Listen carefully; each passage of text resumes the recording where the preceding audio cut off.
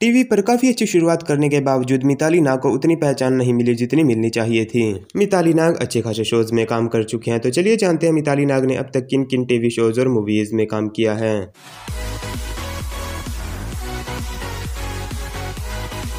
मिताली नाग ने अपने TV career की शुरुआत 2011 में की थी। इन्होंने सबसे पहले जी टीवी के सीरियल अफसर बिटिया में कृष्णा राज का रोल किया था। इनको अपने पहले ही शो में लीड रोल करने का मौका मिला। इसमें किंशुक महाजन के अपोजिट दिखाई दी थी।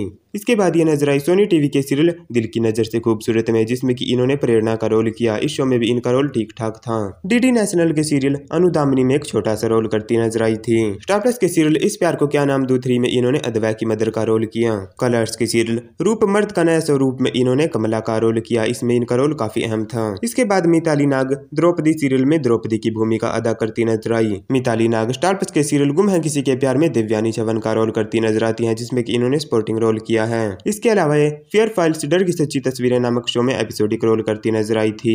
वेलकम बाजी मेहमान नवाजी की सीरियल में एज ए कंटेस्टेंट दिखाई दे चुकी है।